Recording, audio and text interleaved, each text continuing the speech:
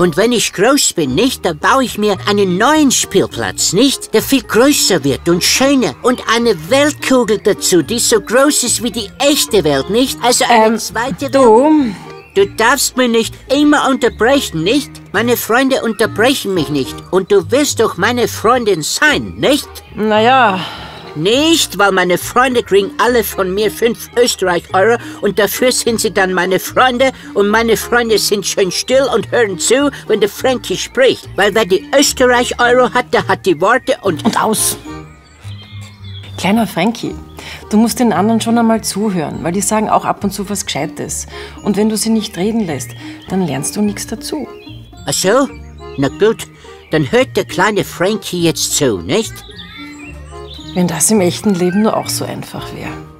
Aber meine zweite Weltkugel, die baue ich mir trotzdem, nicht?